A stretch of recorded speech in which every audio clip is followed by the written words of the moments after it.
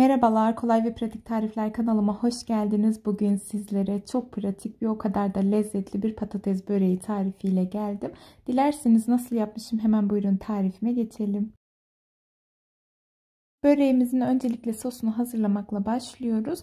Şöyle bir e, kabın içerisine 2 adet yumurtamı alıyorum. Yarım çay bardağı sıvı yağ aldım. 1 su bardağı süt ilave ediyorum içerisine. Bir tatlı kaşığı tuz ilave ettim içerisine. Bir paket kabartma tozum var. Kabartma tozunu içerisine ilave ediyorum. 2 yemek kaşığı da unum var. Malzemelerimin hepsini pürüzsüz bir kıvam alana kadar iyice çırpıyorum.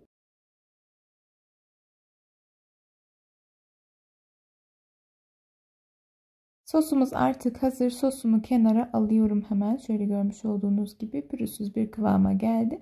Şimdi e, tavamı ocağa aldım. E, içerisine 3 adet rendelemiş olduğum patatesin yarısını tavanın tabanına e, bu şekilde diziyorum. Patateslerimi rendeledikten sonra suyunu iyice sıktım. E, suyunu bayağı güzel sıkmanız gerekiyor. Daha sonrasında ilk tabanı hazırladıktan sonra ortasına bolcana böyle e, küçük bir kase e, kaşar peyniri serpiştiriyorum. Bol kullanabilirsiniz. Kaşar peyniri bu tarife çok yakışıyor.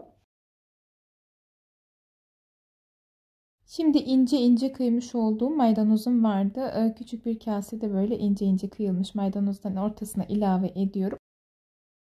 Bu tarifi mutlaka tarif defterlerinize kaydedin. İsterseniz e, yemeklerinizin yanında veya kahvaltıya çok güzel bir patates böreği mutlaka denemenizi tavsiye ediyorum.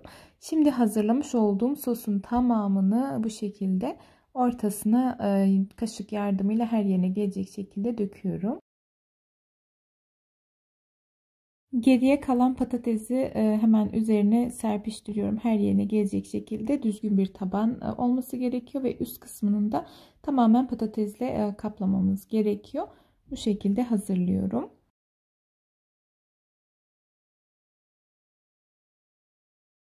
Hepsini hazırladıktan sonra kapağını kapatacağım ve orta ateşte pişmeye bırakacağım. Alt kısmını ara ara kontrol etmeniz gerekiyor arkadaşlar. Ara ara kontrol ederek iyice pişiriyorum. Arkadaşlar eğer videomu tam da bu kısma kadar izlediyseniz ek bırakmayı unutmayın lütfen. Değerli fikirleriniz benim için çok önemli. Fikirlerinizi yorumlar kısmında belirtirseniz çok mutlu olurum.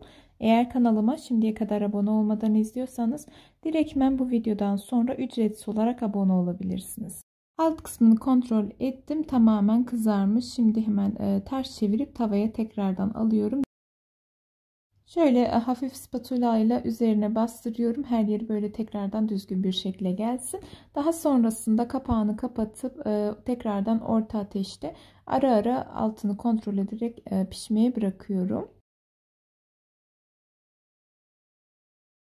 Ben ara sıra altını kontrol ettim. İyi bir şekilde pişmiş.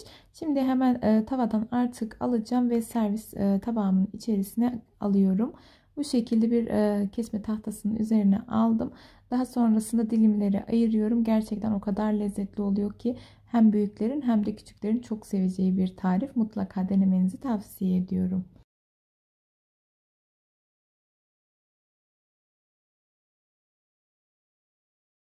Son halinde hemen şöyle sizlerle paylaşmak istiyorum.